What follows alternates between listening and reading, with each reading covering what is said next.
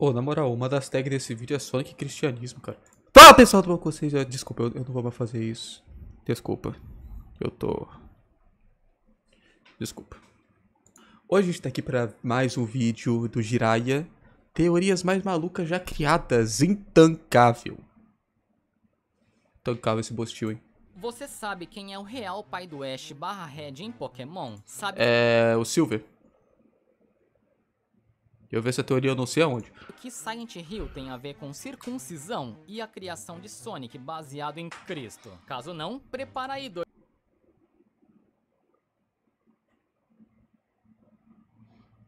Só porque o Super Sonic anda na água? Doidão, porque hoje eu não garanto nada, beleza? Mas claro, like se curtir, Uhum. se inscreva se quiser, Instagram na tela e bora. Bora! Bom, acho que a esse ponto, geral sabe que a teoria Super Mario Bros 3 é uma peça de teatro foi confirmada pelo próprio Miyamoto, certo? Exatamente.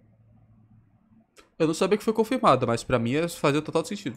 Exatamente, só que essa confirmação abriu mais espaço para que outras teorias complementares a essa surgissem. Qual? Preparados? Eu espero que sim. Você chegou não, a não. reparar na cor do macacão do Mario? Caso não, Azul, é azul tá. em todos os jogos, pelo menos que eu me lembre é, tanto Aham. nas capas quanto em game mesmo. O problema dessa informação é que ela não procede. Apesar da roupa ser azul na capa de Super Mario Bros 3, quando você passa Ah, tá, é jogo, preto e vermelho. Curiosamente, sua roupa é preta. E pior, sem nenhum motivo pra isso. Pode ter cores? Outra coisa que chamou a atenção do nosso teorista é que o Mario sempre foi meio gordinho, certo? Aham. Só que no terceiro jogo da franquia, o bigode tá mais redondinho que o habitual. Será que ele engordou de fato ou será que a verdade é outra? Segundo a teoria, se for Ah, confirmado que Super Mario Bros 3 não foi real, mas sim um teatro, e se o Mario do jogo não fosse o Mario real da franquia, mas sim um outro personagem se passando, interpretando o bigode. Nesse caso, teria que ser alguém que o conhecesse muito bem, saca? Estudasse Uhum. sobre ele e principalmente se parecesse com ele. O Wario. Sem nenhuma surpresa, a grande estrela de Super Mario Bros 3 é o Wario e não Mario. Todos sim, pô, sabemos verdade, da é. obsessão que Uhum. o Wario tem por ele, certo? Pela vida dele e tal. E por isso é possível que o Wario tenha sequestrado o Mario pra viver um dia de herói, ainda que seja de mentirinha. Mesmo que seja o Wario ali, ele pode só ter pegado o papel de interpretar o Mario. Roubado? É, era pra eu estar postando essa no outro canal, o Conexão Jiraya. Aproveita Ah. e se inscreve lá também, beleza? Claro, pô. Mas Pokémon Yellow foi baseado, inspirado no anime, certo? Ou seja, tá tudo em casa. Não exatamente, tem umas diferenças aí. Porque não é o Ash. que você vai rir ou chorar, sei lá, né? Minha câmera tá com delay, né? Por que será? Que a câmera está com delay. Não é por causa do Wi-Fi, porque o Wi-Fi tá certo. Então não sei. Mas respira fundo e analisa os argumentos, beleza? Tá. A teoria de hoje é: Pikachu é o pai do Ash barra Red. Mas do que que esse cara tá falando?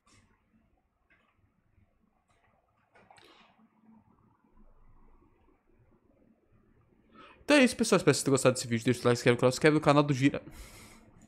E se você não fechou o vídeo ainda, te liga. A história de Pokémon Yellow, ou do anime, né, é que o pai do Ash também é um treinador que um dia Sim. saiu pra comprar cigarro e nunca mais voltou. Ok, não é exatamente isso, mas é, é como eu enxergo, beleza? Pouco se fala no homem, nunca deu as caras e quando parecia que o mistério seria revelado, é... não foi. Tem chance ainda, é bom lembrar, mas tá acabando o tempo. Só que assim, acabando o essa longa. Pra que é mesmo, né? Os tá rolando. Acho que, eu não sei se já acabou ou- tá rolando ainda os últimos episódios de Pokémon com o Ash, mas. Tem o TP ainda pra mostrar. ciência não foi esquecida pelos fãs. Pelo contrário, alguns teoristas de imaginação bastante fértil juntaram uma peça aqui, outra ali e deduziram que sim, é possível que o Pikachu seja o verdadeiro pai do Ash. Mas Ah, é possível. Deixa eu. Eu vou tentar chutar a teoria. A teoria é. Se sustenta basicamente naquela máquina do Bill que transforma pessoas em Pokémon, né? Mas como, Giranha? Lembra do Bill na Rota Sabia! 25? Quando você chega lá pela primeira vez, é obrigado a salvar o cara, porque testando a máquina de teleporte, ele funde sua mente com a de um Pokémon, ou seja, a consciência do Bill está literalmente dentro de um Pokémon, certo? E aí A pessoa você ignora isso, né? cara. O pai do Ash também teria passado por esse experimento do teleporte. Entretanto, a máquina estava num estágio muito inicial ainda, saca? E por Uhum. consequência, sua consciência acabou no corpo de um Pikachu, mas o procedimento não pôde ser revertido. E agora vem as provas. 1. Um, não Quais importa provas? o quanto você tente, jamais vai encontrar um Pikachu na primeira rota do jogo. E sabendo disso, como o professor capturou, um por ali. Na teoria, o pai Pikachu andou até Pallet para reencontrar o filho e esposa mais uma vez, e sem querer acabou sendo o guia do Ash durante toda a sua jornada. Sem querer, Dois, O Pikachu gosta muito da Delia, tá ligado? A mãe do Ash, tanto que... Bom, você tá vendo aí, né? Preciso falar nada. 3. Ele se recusa a evoluir porque isso poderia alterar sua consciência, saca? Igual aconteceu com o Charmander. E nessa ele podia esquecer o próprio filho, então é melhor Hum. não correr o risco. 4. Ele gosta de ketchup, que é comida de humano, né? Mas quem não gosta, né? Quem não gosta? E pô, Muita tem gente mais, não gosta. só que é o puro suco da brisa, então melhor deixa, melhor deixa. Agora, você bota fé nessa teoria? Nem Eu pouco. pelo menos não. Eu sou seu pai! Você sabe o que Silent Hill 4 tem a ver com circuncisão? Não? Ah. Então calma. O capiroto do jogo é Walter Sullivan, o mano que você encontra como criança, adulto e defunto também. Tudo no mesmo jogo? E com razão, Walter não é exatamente normal, né? No jogo é revelado que assim que sua mãe deu à luz, ele foi abandonado num hospital. E isso nem seria um grande problema se Não. um pessoal da ordem, que é a seita religiosa da franquia, não estivesse por lá. Eles pegam o guri e levam até o orfanato Wish House, que é onde a ordem se organiza, beleza? Ou seja, desde criança ele faz parte da seita, aprende os rituais, as regras e etc. Sim. Inclusive, ele aprende que sua mãe não é um ser humano normal. Não, é o AP-302, que é onde seus pais viveram até abandoná-lo. E mano, o guri é tão apegado ao AP que seu grande objetivo é levar o local inteiro pro tal paraíso, que é um outro mundo do jogo. E como ele Tá. faz isso? Simples, matando 21 fucking pessoas, o que Isso inclui é maravilha. ele também. Nessa hora, você percebe que a Team Silent usa substâncias poderosíssimas, né? Poderosíssimas. E pô, se a coisa parece bizarra, segura, vai piorar, beleza? Como? Manja as wikis dos jogos? Então, é basicamente um banco Caraca, câmera. Pera aí. A câmera tava muito atrasada, velho.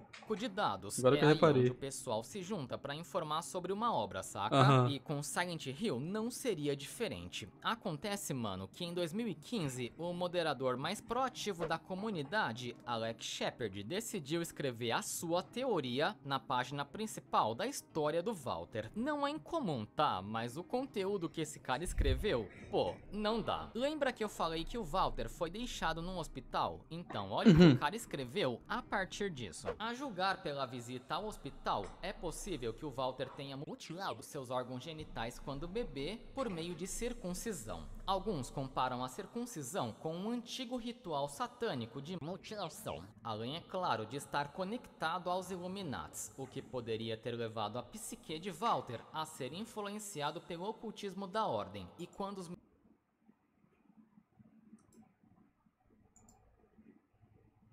Caraca. meninos se tornam circuncidados, isso os conecta com as trevas e entra em um pacto com Satanás. Parece ruim, né? Mas calma, Maluco. piora. O cara disse que toda a franquia Silent Hill era só pra mostrar de forma indireta que a ordem, ou seja, o mal, só funcionava porque arrancavam a pele do pintinho.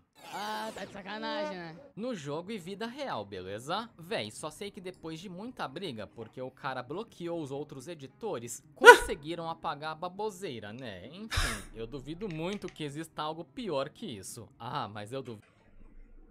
Ah, tá, tá, tá.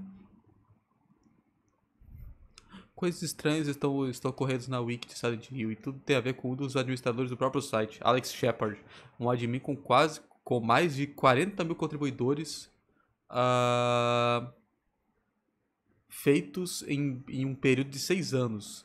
É, se dedi- é, dedicou grande parte do seu tempo para ajudar a, a construir uma, databe- uma database compreensiva de informações de vários jogos de survival horror, incluindo as wikis de Clock Tower, Rule of Rose e Parasite Eve, entre outros.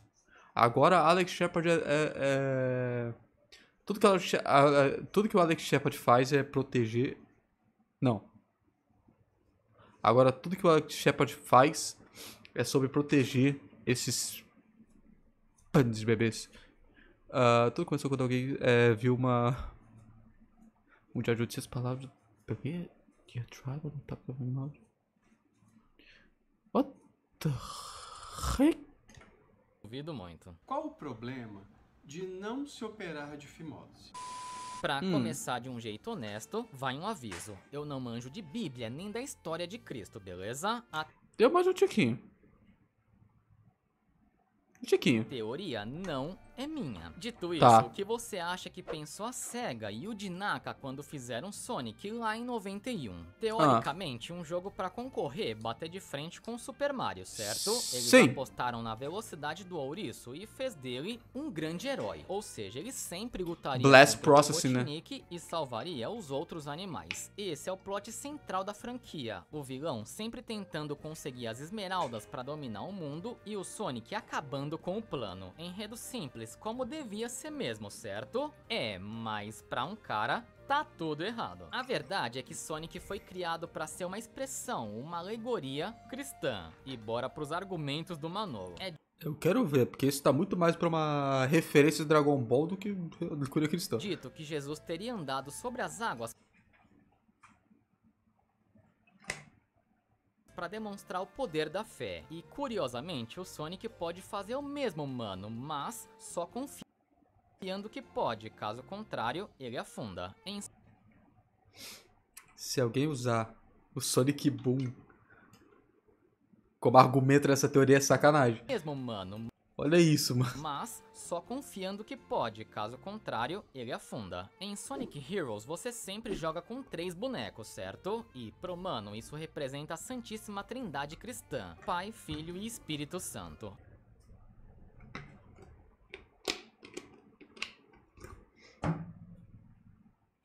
Assim como Jesus é humano e Deus ao mesmo tempo, Sonic foi criado como humano e ouriço, já que ele tem DNA de humano em seu corpinho lindo, né? Ou seja, um paralelo. Manja quando você pega os anéis e acaba perdendo? Então, isso faria referência à provação cristã de nunca desistir. Em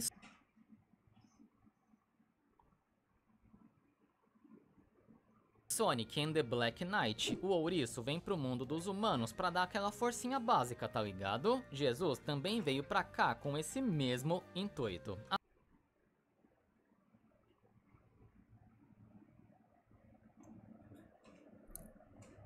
Como é que tu encaixa todos os outros jogos que tem que tem coisas humanas acontecendo, pessoas humanos, humanos. Sonic Adventure só, Sonic Adventure. Assim como Sonic liberta os animais, Cristo liberta as pessoas do pecado. Inclusive, ele morreu em Sonic 06 e voltou à vida, certo? E adivinha igual a quem? Pois é, doidão, e tem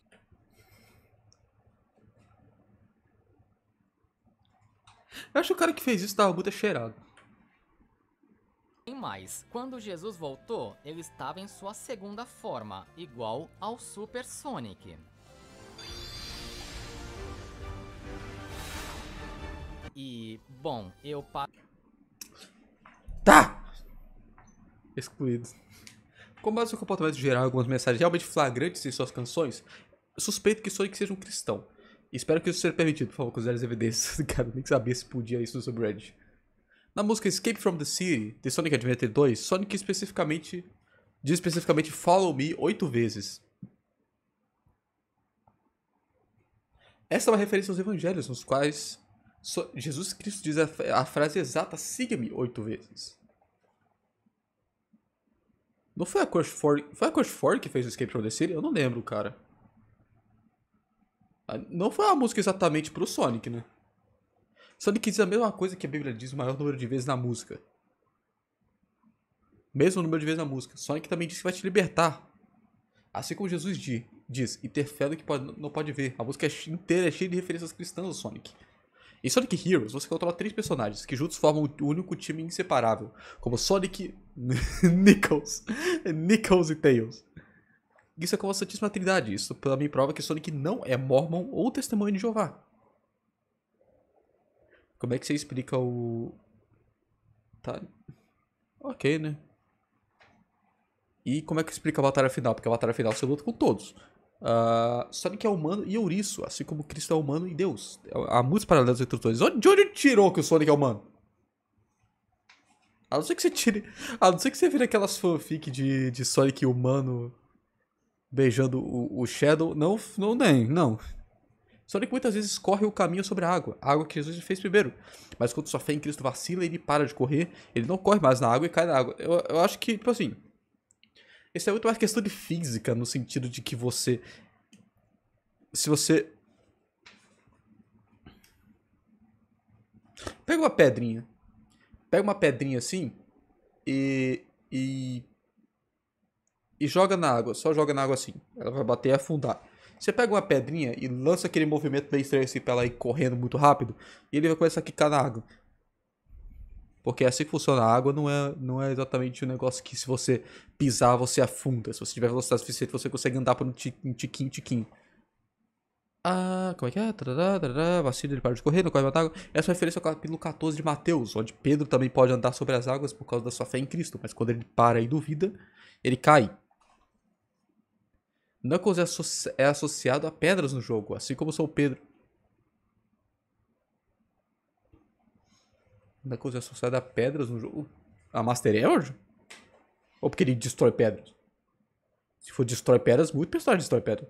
Sonic reúne anéis, mas se for atingido, eles deixam cair e tenta recuperar e tem que recuperá-los.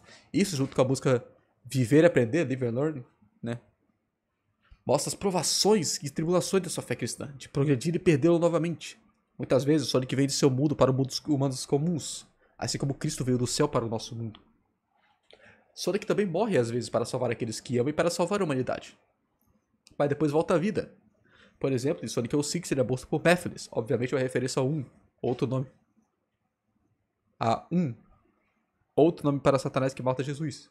Mas depois volta à vida. Você também volta à vida sempre que termina o jogo. Parabéns, você descobriu como é que jogos funcionam.